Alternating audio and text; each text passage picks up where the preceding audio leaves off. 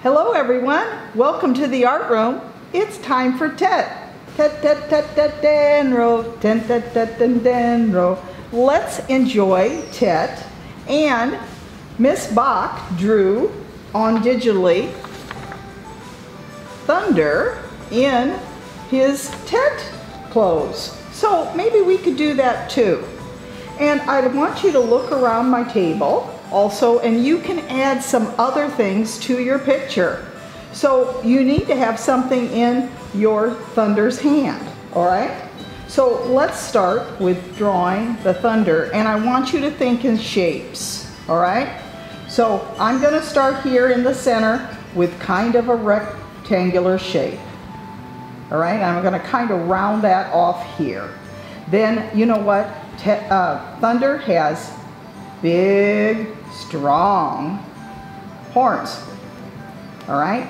So just sketch these in. Don't do it too don't do it too dark because then that way you can always go back in with your pencil and make it a little better or erase it. Yeah? So I'm just kind of sketching in. Um, I see a hat. I could draw the Tet hat. And I see some medallion parts, some circular things, okay? Now I want to add in the eyes and I see kind of a semicircle oval, all right? So semicircle oval, a little longer, all right?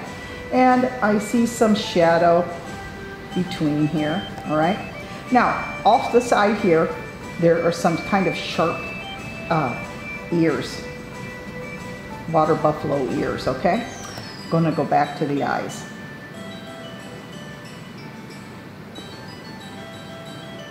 All right, so let's look at the nose.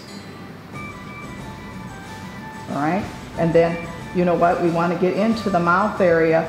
Now, Thunder, Thunder is a strong water buffalo, but you know what? He's kind of kind too. So we kind of put in some his mouth, but I don't want him to look too scary. All right. Now, if you want to put in um, a, a Tet outfit, so you decide what you want your um, water buffalo to wear, or thunder, all right? And I'm going to add in the dress costume. Now remember, he has hooves. He doesn't have hands, he's got hooves. And you know what? You could make friends of, you could make friends of, of thunder and also add some um, a girl or a boy, or maybe some young thunder, all right? Don't, like I said, remember, it's got hooves, all right? And then think about the pattern you'd like to add. And, um, you know, like I said, I've sketched this kind of fast, but then you can add your colors in.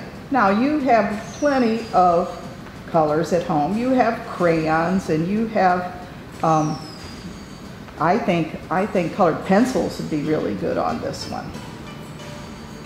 And again, you can put any kind of costume in this. Now, this time I'm looking around my table and I'm going to add a fan, okay? So, you know what? I'm going to add a zigzag here yeah, and we're gonna add a kind of a fan shape in this picture, all right? And what else would I like to add? I'm looking around my table. You know what? What else would be nice for Tet? Um, you know what? I, I'm gonna add some stars in the sky, okay?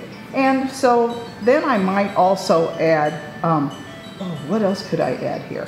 I know I want to add those flowers again. So you know what? You can either add you could add quats. I just changed my mind. I've got flowers in this one. Maybe you want to add a quat plant and you could have some quats, some orange quats, kumquats in your picture. All right? So please draw thunder for Tet and please color in and please add it to Seesaw and we'll see how many uh, of the new costumes and things for Tet that we can have. And again, you know what? Thunder can speak. So Tet is coming. Welcome, Tet. Until I see you the next time, goodbye.